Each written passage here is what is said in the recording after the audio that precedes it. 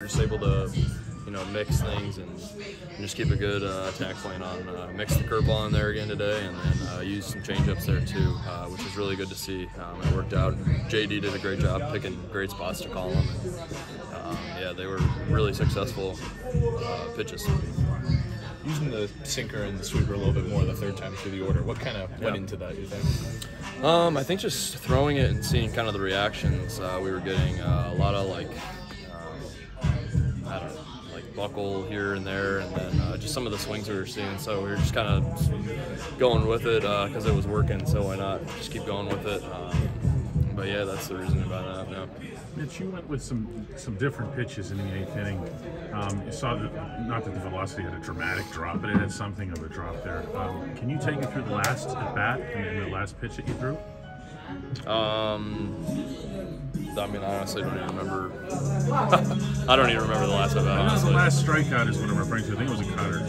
Oh yeah, uh, Yeah. yeah. Okay, now, um, yeah, just like a mix of we threw two sweepers and then um, Yes.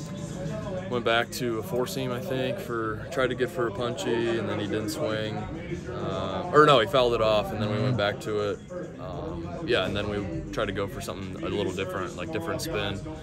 Um, yeah, and that, I mean, just I think we got him. It was a bad pitch. I think we got him because he thought it was going to be a sweeper and it was a different action pitch. So um, yeah, it just played out. I guess that's the beauty of having both, How were you both feeling? pitches. No, you're How good. are you feeling in the eighth inning?